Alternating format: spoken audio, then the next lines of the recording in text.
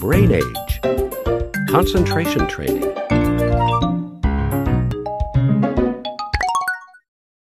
I hope you're ready because it's time for the first of Dr. Kawashima's brain seminars. And the title of our first seminar? Here it is.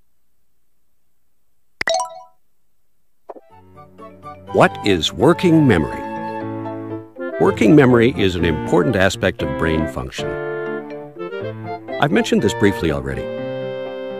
Now, let me give you a few more details. Working memory refers to temporary storage of information for manipulation.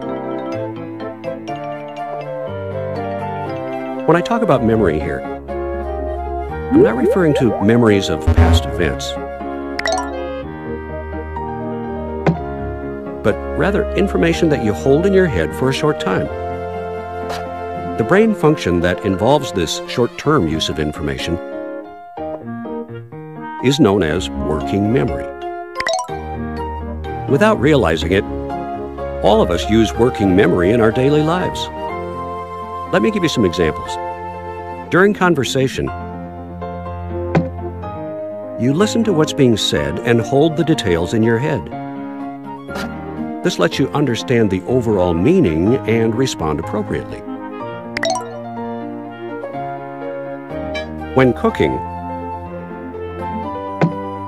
you hold the steps of a recipe in your head and follow those steps when preparing your meal. when playing sports.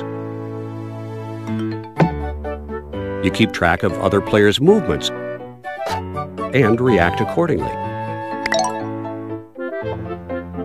People with a well-developed working memory can likely do all these things really well. To put it bluntly,